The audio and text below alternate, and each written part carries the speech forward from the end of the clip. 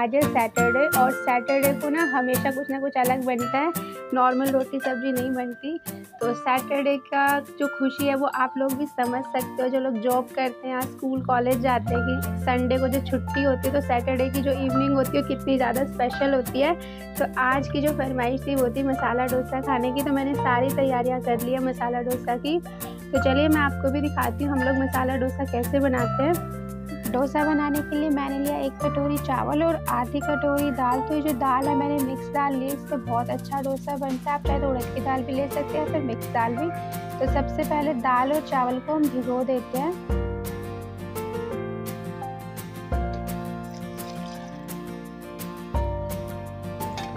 इसको हम भिगो के रख लेंगे दो घंटे के लिए। जब दाल और चावल भीग जाए तो हम इनको पीस लेंगे। और जो बैटर होता है हमारा, इसको फर्मेंट होने में, गर्मियों में इसको लगभग आठ से दस घंटे लगते हैं फर्मेंट होने में, बहुत अच्छे से फर्मेंट हो जाता है, लेकिन सर्दियों के टाइम में चौबीस घंटे भी लग जाते हैं इसको फर्मेंट होने में। तो मैं थोड़ा सा पानी मिला दूँगी, जार को हिलाकर इस मैंने डाल दिया है। ये देखिए, अभी आपको थोड़ा पतला लग रहा है ना, जब हम इसको पूरी रात छोड़ देंगे तो देखिए, ये देखिए, गाढ़ा हो गया ना, बहुत अच्छे से फर्मेंट हो चुका है, इसमें जालियाँ पड़ चुकी है। ये दिख रहे हैं आपको छोटे छोटे बबल से, बहुत अच्छे से हमारा बैटर फर्मेंट हो चुका है। अब सबसे पहले हम बनाते हैं सांभर। तो सांभर के लिए मैंने लिया है अरहर की दाल और मेरे पास है कुछ सब्ज़ियाँ। सब्ज़ियाँ आप अपनी मनपसंद की इसमें डाल सकते हैं। घिया, टिंडा, तोरी, फली, कद्दू, बैंगन, आलू, कोई भी आप सब्ज़ी इसमें डाल सकते हैं। तो मैंने लिया है बैंगन, फलियाँ और कद्दू। अब हम कुकर में सबसे पहले डालेंगे ये दाल, ये सब्ज़ियाँ। और अब हम इसमें डाल देंगे पानी। और इसमें हमने डाल दिया नमक और ये थोड़ी सी हल्दी। और अब जब कुकर में एक सीटी आ जाए जो आज को थोड़ा सा धीरे कर दीजिए पंद्रह बीस मिनट तक इसको पकने दीजिए। लो इसको पकड़ो। एक और तोड़ लूँ? हम्म। चलो। ला मुझे दाल और सब्ज़ियाँ उबलती है, इतने में मसाले की तैयारी कर लेती हूँ। तो आलू को मैंने पहले से उबाल के रखा हुआ था, इनको छील लेती हूँ अब। इनको हाथों से ही फोड़ लेंगे बिल्कुल बारीक। सबसे पहले हम छोंक तैयार करेंगे। जो मसाला हम बना रहे हैं डोसे के लिए, इसका और सांभर का हम एक साथ छोंक लगाएँगे और बाद में फिर इसको आधा आधा कर लेंगे। तो मैंने इसमें डाला एक चम्मच तेल।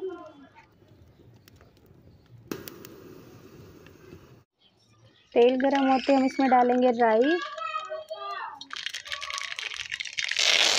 करी पत्ते। प्याज।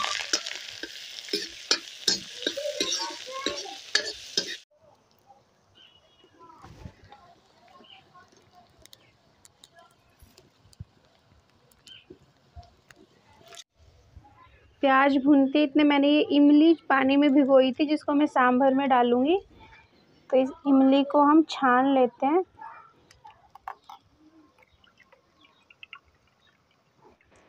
इस इमली के पानी से सांभर में एक अच्छी खटास आएगी। प्याज के भूनते ही हम इसमें डालेंगे मसाले, हल्दी, लाल मिर्च, धनिया पाउडर।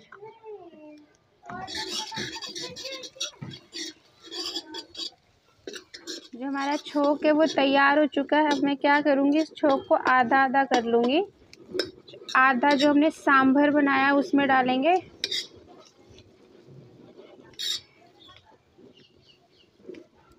और आधे में हम डोसे के लिए मसाला बनाएँगे आलू का। तो आधे में मैं आलू डाल दूँगी।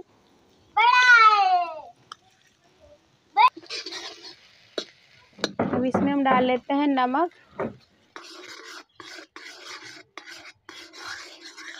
इसको हम निकाल लेंगे और इसी कढ़ाई में सांभर में तड़का लगा लेंगे। दाल और सब्ज़ियाँ अच्छे से उबल चुकी है। इसमें अब मैं डाल दूँगी इमली का पानी।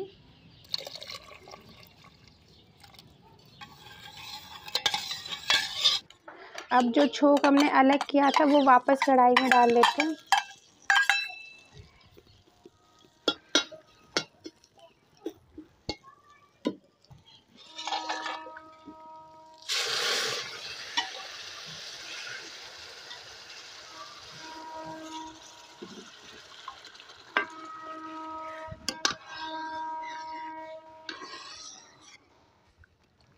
अब इसमें एक उबाल आने देंगे और आखिर में इसमें डालेंगे सांभर मसाला।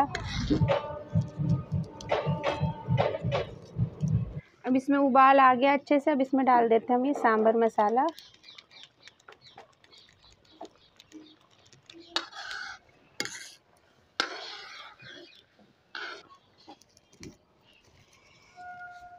मसाला हमारा तैयार है, सांभर भी बन गया। अब डोसे और बचे डोसा भी बना लेते हैं।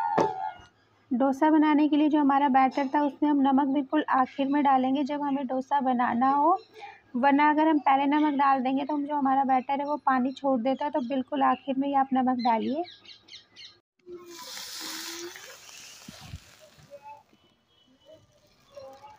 अब हम तवे पे बैटर डालते हैं और बैटर डालते वक्त हमें जो दो तीन चीज़ें ध्यान रखती है, वो ये है कि बैटर डालते वक्त तवा जो है वो गर्म नहीं होना चाहिए, बिल्कुल हल्का गर्म होना चाहिए।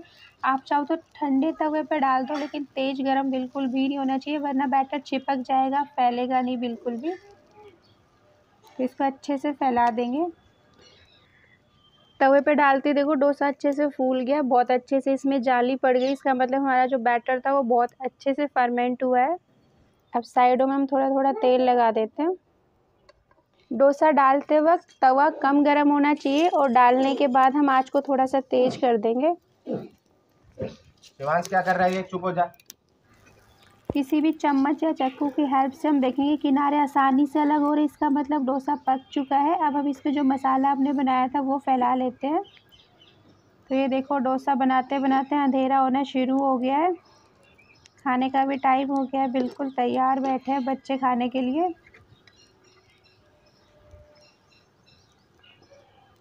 ये देखिए कितने अच्छे से डोसा बना है। बिल, बिल्कुल क्रिस्पी बना है, बहुत आसानी से तवे से छूट जाता है, अलग हो जाता है, बिल्कुल भी नहीं चिपकता।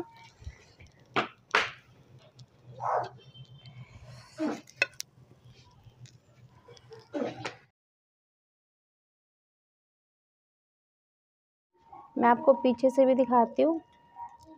ये देखिए, बहुत अच्छा सीखा है, बिल्कुल क्रिस्पी जैसा आप मार्केट में खाते हो, बिल्कुल वैसा। तो चलिए अब सांभर डालकर बच्चों को खिलाते हैं, पूछते हैं कैसा बना